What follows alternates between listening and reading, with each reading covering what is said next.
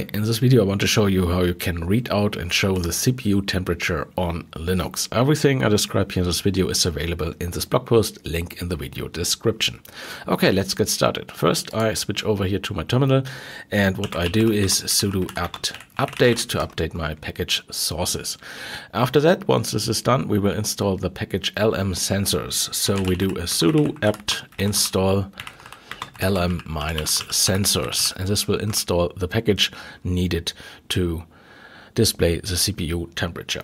Once done, we have a new command available called sensors and this will show up show us the current CPU temperature, uh, the complete package, and also the different cores of our CPU. However, this is not updating as you can see, but there's another command to do that. In order to have this view updated, you can use the watch command. So what we type in here now is watch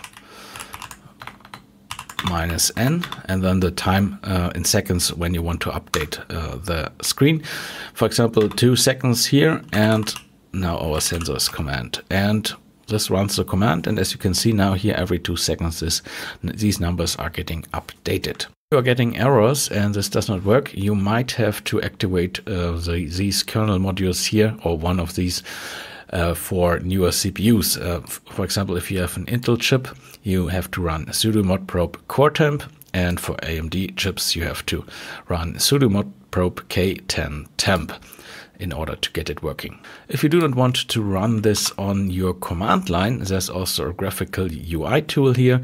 We can install it with sudo apt install psensor. Here we go.